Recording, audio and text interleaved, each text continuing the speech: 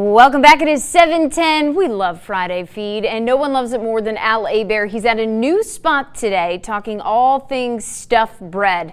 Al, how are things out in Broussard this morning? You know, Alex, this is fast becoming my favorite spot. I love this. First of all, the Diet Coke here is unbelievable. So if you're out and about today, you got to come by Chops and try the Diet Coke. Dave Romero, Stuffed by Dave. Dave, let's kind of recap what we have here.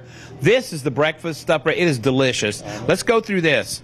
It's the omelet, uh, chicken cordon bleu, cheeseburger jalapeno, which is our best seller, and a pizza.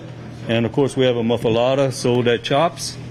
So, you know, Alex Rostel makes pizza bread, so I feel like I, I got to try the pizza one Okay. for Alex's sake. Now, this is the pizza, correct? That's the pizza.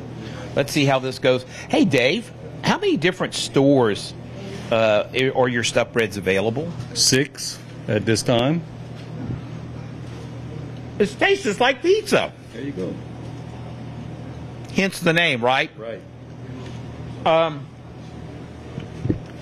let me grab some Diet Coke. It's amazing Diet Coke. Dave, platters. Game day coming up.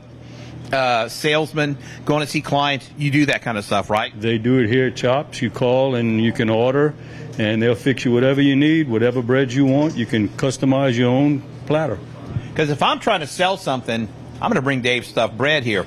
Now, you know, we were talking to Grant a little earlier. Man, these cracklings are amazing. They are good, yes. and they're crispy. These have been out for a couple of uh, well since man right after we got here. They're still crispy, and I love it. And I think the idea that you had of dipping the pork skins or the cracklings into the into the chicken salad, it's great for game day, huh? Great for game day. Especially if you're low carbing or something like that.